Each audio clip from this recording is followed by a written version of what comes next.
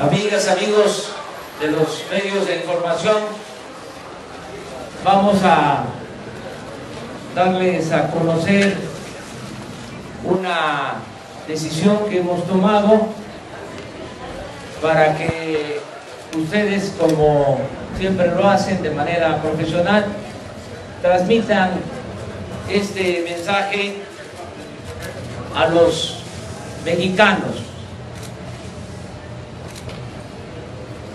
En materia energética hemos definido cuatro proyectos estratégicos prioritarios. El primero consiste en extraer petróleo y gas con urgencia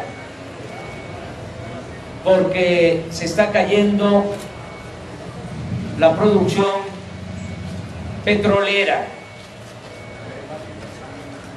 No queremos alarmar, pero tenemos que informar con objetividad y con profesionalismo. Hace 14 años la producción de petróleo era de 3.4 millones de barriles diarios. 3 millones 400 mil barriles diarios. En la actualidad es de 1 millón 900 mil barriles. En 14 años hemos perdido 1.500.000 barriles diarios en producción y es una tendencia a la baja porque se abandonó el sector energético y la industria petrolera. Si no actuamos con urgencia, tendríamos problemas en el corto y en el mediano plazo. Problemas de falta de producción de petróleo. Por eso vamos a intervenir con urgencia y vamos a destinar desde el primer año 75 mil millones de pesos adicionales de inversión para explorar y perforar pozos petroleros y llevar la producción de petróleo de 1.9 millones de barriles diarios a 2.5 millones de barriles diarios, es decir, aumentar en dos años 600 mil barriles diarios la producción de petróleo. El segundo programa prioritario es el de reconfigurar, rehabilitar las seis refinerías que existen en la actualidad, que requieren intervención también urgente, porque están operando en términos generales al 30% de su capacidad.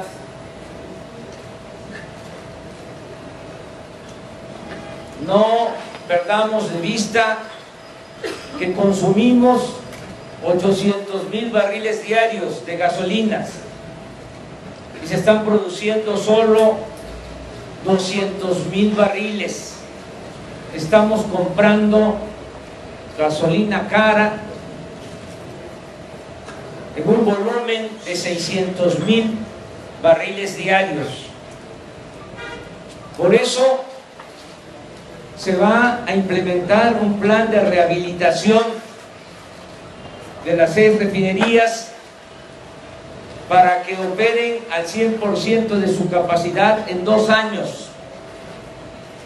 Este plan va a demandar la inversión adicional de 49 mil millones de pesos en dos años.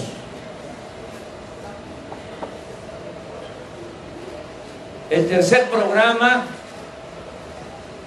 consiste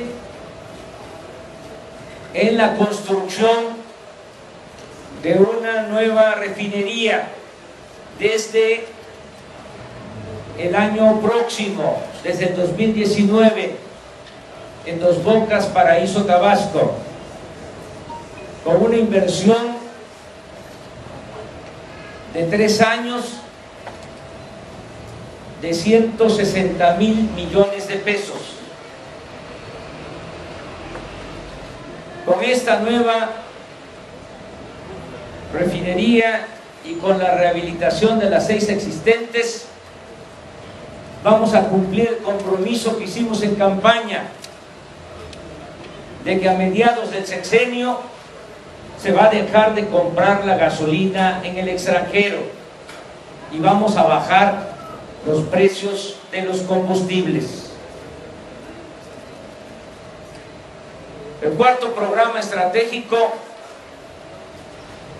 consiste en producir más energía eléctrica, en no cerrar las plantas de generación de energía eléctrica de la Comisión Federal de Electricidad. Al contrario, fortalecerlas, modernizarlas. Vamos a empezar por modernizar las hidroeléctricas, porque tenemos la infraestructura subutilizada. Se trata de generar energía eléctrica con las presas que existen actualmente, con los embalses que se tienen, porque es generar energía eléctrica barata y limpia.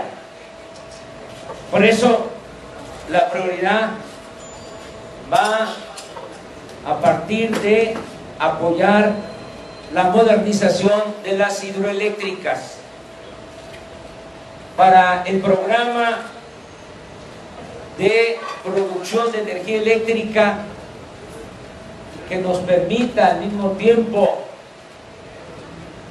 que no aumente el precio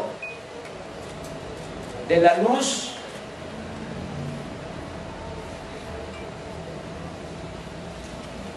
con más producción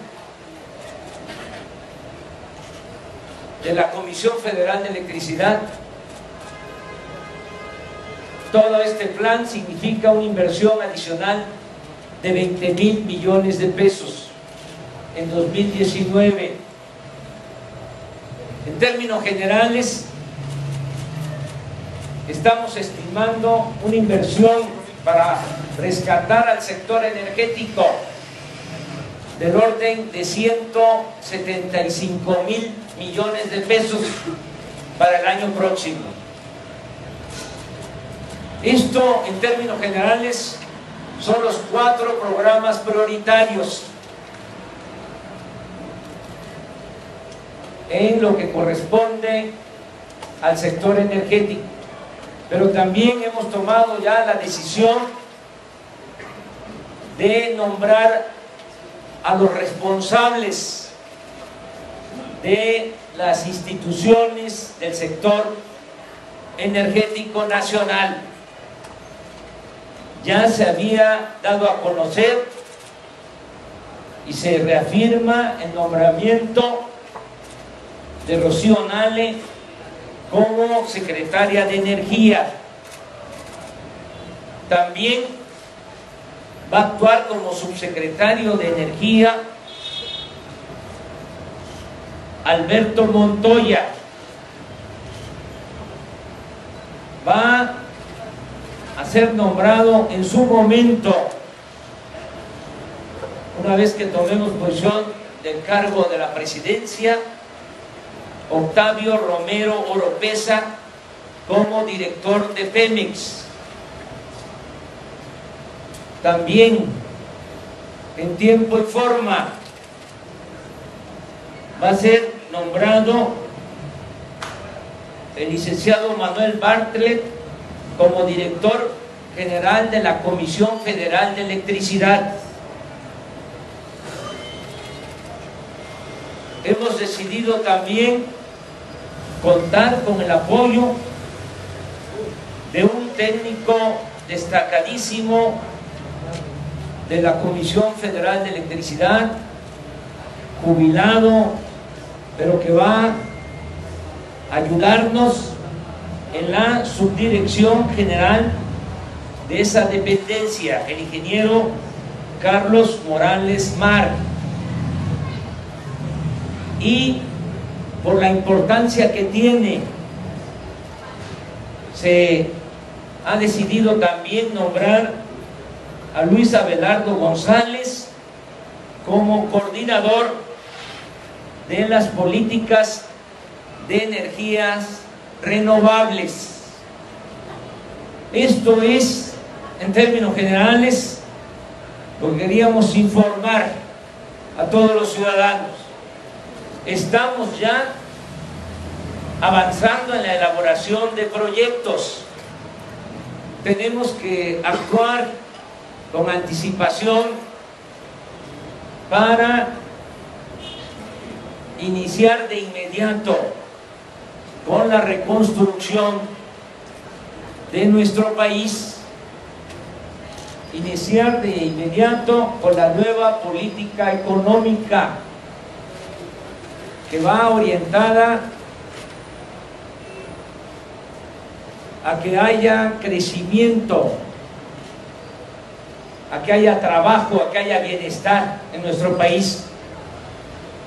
Por eso estamos ya decidiendo, yo espero que pronto el Tribunal Electoral emita la resolución para que nos entreguen la constancia de que hay presidente electo en el país, porque a partir de ese momento inicia la transición formal y necesitamos ya contar con toda la información para tener los anteproyectos y en algunos casos proyectos terminados antes de tomar posesión de la presidencia de la República. Esto es lo que yo les informo. Quiero pedirles a ustedes su comprensión porque tengo que salir, tengo un viaje. Hoy no es un asunto este, de gira, es de otro tipo. Es una eh, investigación que estoy haciendo en campo, pero no puedo ir con medios de información porque entonces ya no tengo posibilidad de hablar con más franqueza con la gente. Cuando está de por medio de una cámara, la gente se puede inhibir y yo tengo que hacer trabajo de campo. No puedo estar todo el tiempo en la oficina. Voy ahora hasta la selva, la candona, hasta allá voy, pero no tengo ninguna reunión concertada. Voy a hacer una consulta a la gente. ¿Va con el STLN? No, voy a hablar con campesinos, con indígenas, productores que viven en la selva lacandona. Necesito hacer este trabajo. Ya va a haber oportunidad. A partir del día 16 de septiembre iniciamos las giras formales por todo el país. ¿Cuándo regresa? ¿Cuándo regresa? Voy a estar de regreso el lunes. Aquí nos vamos a ver. Y yo ahora les pido que me permitan este, irme porque si no ya no alcanzo a llegar. Eh, el día lunes hablamos, si les parece, o este, ustedes, ustedes también necesitan descansar el fin de semana.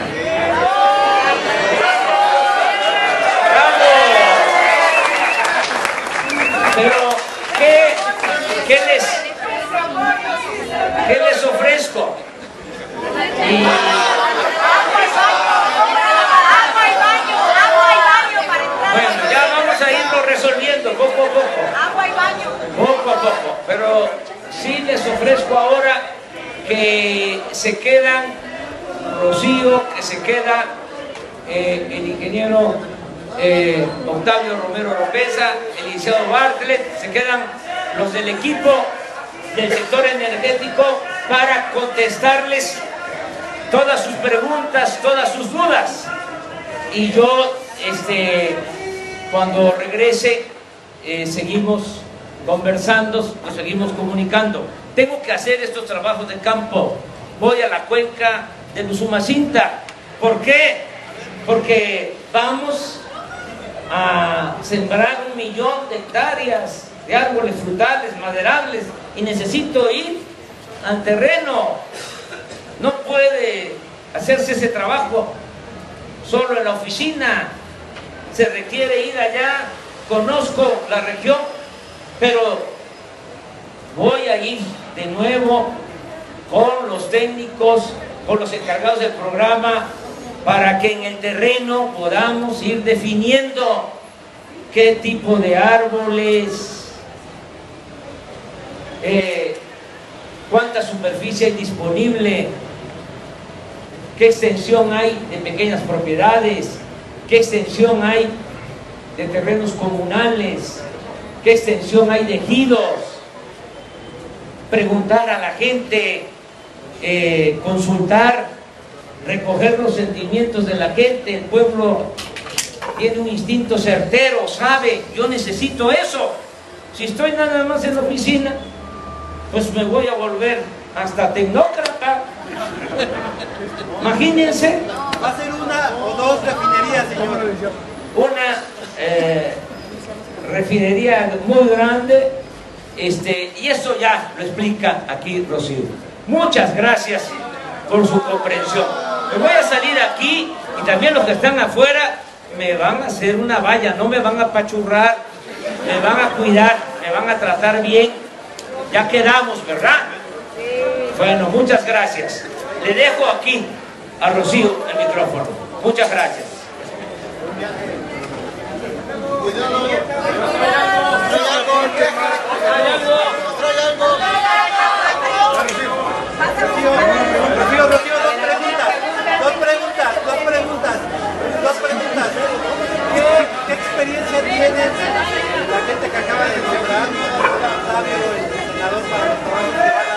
Encabezar. Y si van a ser dos o una las que se van a ya les contestó el licenciado. Eh, va a ser una refinería en dos bocas, que es la que tenemos más avanzada. Acércatelo más. Sí, ahí, ¿verdad? Sí, va a ser una refinería de inicio, la, de- la de dos bocas, que es la que tenemos ya el programa un poco más avanzado y por la propia infraestructura que tenemos en el puerto de dos bocas. Todo esto se ha estado analizando, ya viajamos, el ingeniero Octavio Romero y una servidora. eh, eh, con otros técnicos, fuimos a Tabasco, ya hemos estado en pláticas con el IMP también. Y bueno, hay un, avance que por eso se tomó hoy la determinación. Y eh, pues imagínate nada más, el senador Manuel Bartlett tiene toda la experiencia de la administración, seguimiento y comportamiento de la industria eléctrica en este país. Él desde 1992-95 que se dieron los primeros pasos de productores independientes hasta la fecha, pues es un conocedor del tema profundo de eh, la electricidad, del sistema eléctrico en este país.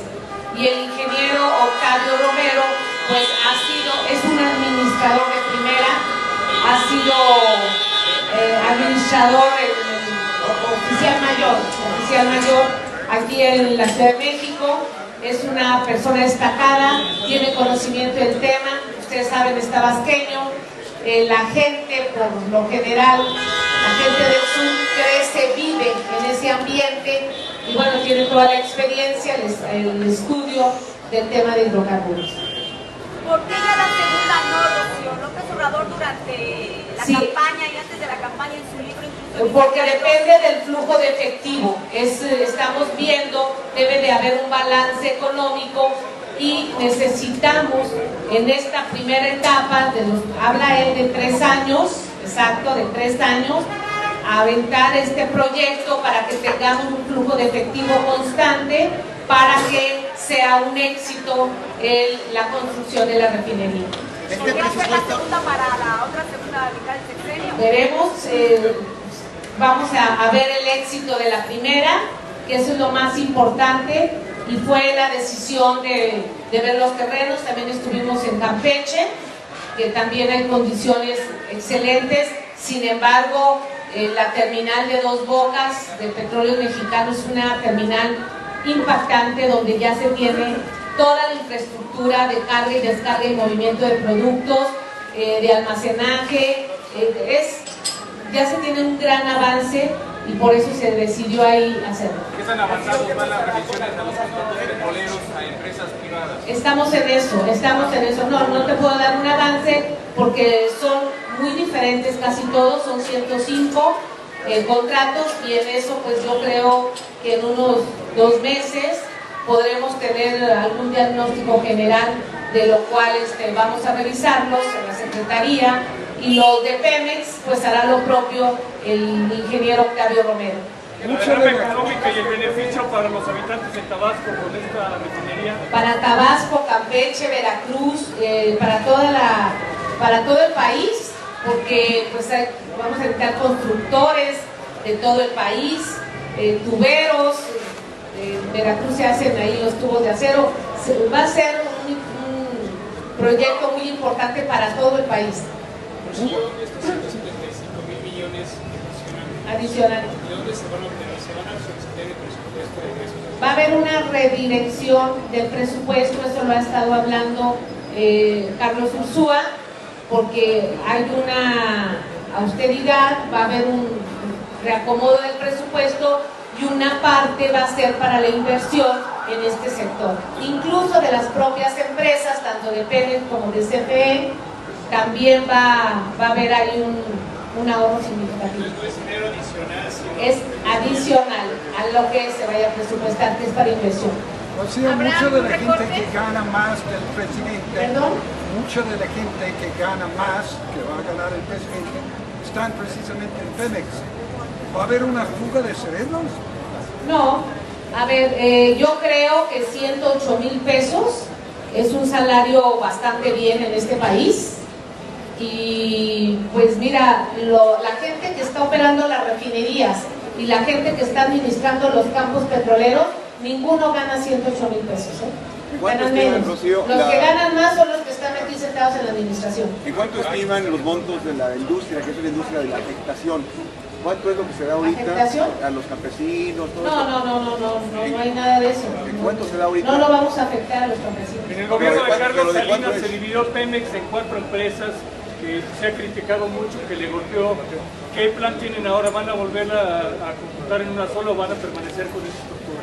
A ver, ya está en este momento, eh, hay Pemex Transformación Industrial donde ya está ahí petroquímica y refinación y hasta una parte de gas.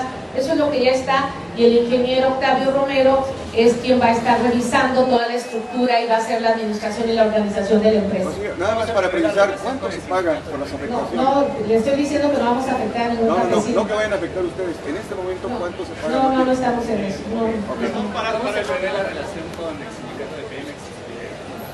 A ver, lo ha manifestado el presidente electo que somos muy respetuosos con la vida sindical. Los sindicatos en este país y en todo el mundo se formaron para organizarse. Los trabajadores pues van a cuidar sus derechos, así debe ser. Y nosotros vamos a ser respetuosos. Nada más que, pues se acabaron los usos y costumbres del dinero que va y que viene sin ninguna justificación. También a eso vamos a, a organizarnos y tanto el licenciado Manuel Bartlett hará lo propio en la Comisión Federal de Electricidad como el ingeniero Octavio Romero lo hará en, en Pemex. Rocío, en, esta- en este presupuesto ya está contemplada eh, pues la idea de la descentralización de la Secretaría o este es otro otro monto. No, estamos trabajando en lo del presupuesto de la CNE, que es aparte. Este presupuesto que dio eh, el licenciado Andrés Manuel es de inversión para el sector energético. ¿Qué pasará con las rondas petroleras y la revisión de los más de 100 contratos? Ya, yo los acabo de contestar que estamos en el análisis de los en el análisis de la revisión de los 105 contratos y tanto el ingeniero Octavio Romero hará lo propio en la revisión de los contratos que tiene la propia eh, empresa, como también el licenciado Manuel Bartlett va a revisar los contratos que tiene CFE, pues con eh, proveedores sobre todo. ¿Seguirán las rondas?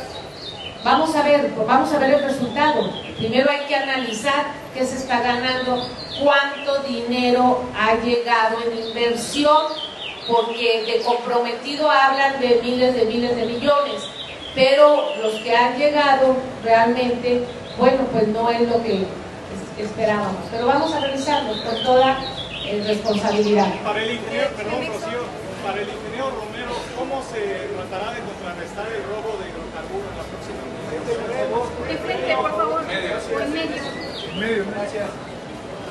Estamos en un proceso de diagnóstico de todo Pemex. El tema del robo de combustibles es uno de los temas que estamos analizando y estamos trabajando en eso. No hay todavía una definición del programa específico, pero es prioritario. Es un tema prioritario el robo de combustibles. ¿Se tiene, ahorita tienen ustedes alguna cifra de cuánto se pierde anualmente por esta práctica? So- Solo las cifras que nos hacen llegar, eh, las, las oficiales, eh, son las que conocemos, las que conocen ustedes. Eh, ¿En cuánto vislumbran? ¿En qué tiempo una reunión con el sindicato de Romero de Champs, que es muy fuerte, muy poderoso? ¿Qué van a hacer en ese tema? Hasta que, hasta que, como decía el presidente electo, hasta que se dé ya la transición en forma, hasta que él reciba su constancia del presidente electo, vamos a, a respetar los tiempos. Las empresas extranjeras pueden participar en estos proyectos prioritarios. ¿Y en qué, perdón? Las empresas extranjeras van a poder participar en los proyectos prioritarios. La rehabilitación. Las Ah, Bueno, eh, como se ha venido haciendo hasta la fecha, únicamente que vamos a, a revisar muy bien las cosas. Es una nueva administración. Sí, Pemex va a utilizar el mismo modelo que vienen utilizando de asociarse con privados para garantizar eh, precio y cantidad. Nosotros vamos a trabajar en Pemex, a la capacidad de Pemex, con la inversión que ya el presidente electo acaba de señalar y en esa línea vamos a conducirnos. Quiero preguntarle cuál va a ser la relación concreta con el SUTER y con el sindicato petrolero, porque son décadas de control de ciertas áreas, tanto laboral como en contratos. ¿Cómo va a ser ahí el, el viraje? La relación La relación con los sindicatos. Seguramente va a ser una muy buena relación.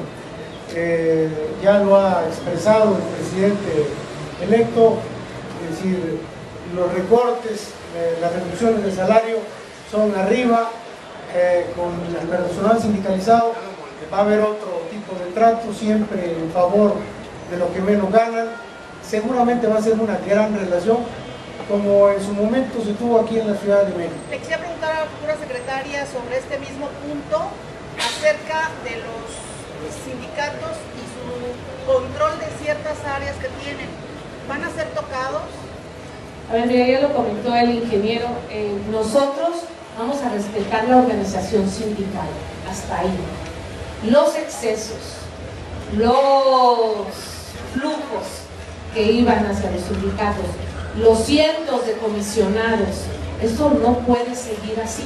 ¿Por qué? Porque va a haber una reducción al gasto burocrático, a estos excesos, porque eso lo necesitamos para invertir tanto en las hidroeléctricas, tanto en las refinerías, como en la exploración y en las petroquímicas también. Entonces sí hay una nueva administración. Vamos a continuar con los trabajos en las empresas, tanto Pemex como la CFE, la relación con los privados que ya están en el país, van a continuar con un diálogo, con un trato, vamos a, respetar todo lo que esté en la ley, que esté bien. O sea, va a continuar una, un camino hacia la producción y hacia la construcción, porque eso es lo que eh, ha dicho nuestro presidente electo. Entonces, ¿sí le van a reducir la partida a SUTER y al sindicato petrolero? A ver, eh, las partidas que van, influyen, pues por supuesto, si se van a reducir a burocracia, alta burocracia, aquí debe de haber una reducción en gastos superfluos. Senador Duarte, preguntarle sobre los adeudos de los estados con la CFE, ejemplo, el caso de Tabasco, que es importante, ¿va a haber borrón y cuenta nueva? Mira, como ya se explicó, estamos el micrófono. haciendo, haciendo los proyectos y el análisis, pero próximamente vamos a entrar a la empresa. Si el, el proceso de entrega-recepción es muy importante para tener toda la información detallada, para saber qué nos van a entregar, para conocer la deuda de la empresa, en este caso de la Comisión Federal de Electricidad. Rocío, te pediría sí precisar un poco más, no me quedó muy claro, ¿de dónde va a salir el dinero, los 175 millones? ¿Cuánto va a ser de redireccionamiento del y cuándo se va a solicitar? A ver, ya explicó el presidente que van a ser 175 mil millones de pesos para este sector, describió en qué partidas, la rehabilitación, lo de las hidros, lo de exploración, ya lo describió los tres, y de dónde va a salir de redireccionar el presupuesto. Ustedes recordarán que a Pemex el año pasado le quitaron 100 mil millones de pesos de inversión del presupuesto, ¿verdad? Bueno, pues ahora se va a redireccionar y eso va a ser lo que va a haber. Solo es inversión para el primer año, ¿verdad? Sí, hablamos del primer, él describió el primer año y hay un plan que tenemos en los tres primeros años. Muchas gracias, les agradecemos.